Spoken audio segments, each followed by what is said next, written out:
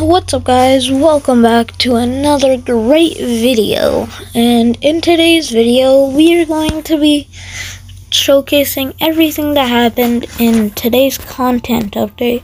Now when you first log on Fortnite you might be confused because what?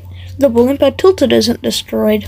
Yes that is true, but also guess what I found while doing some resistance quests.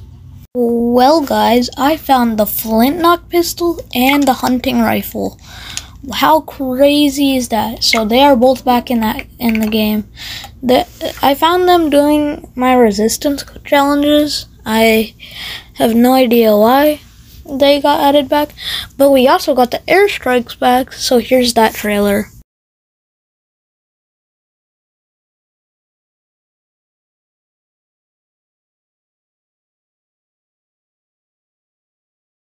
Sorry about the no audio, that is a problem.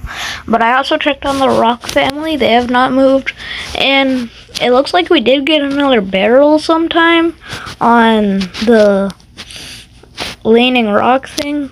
Yeah, it is a content update, so it wasn't that big. I have no idea why Epic didn't crash the blimp though. Anyway, here's some skins in this who is probably gonna get in the game.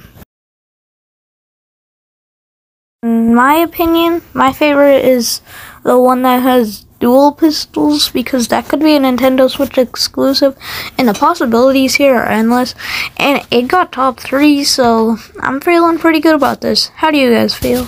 Well, that's all that came in the update today. Besides new resistance quests, there's really nothing else. So, see you in the next one and this is Sean logging off.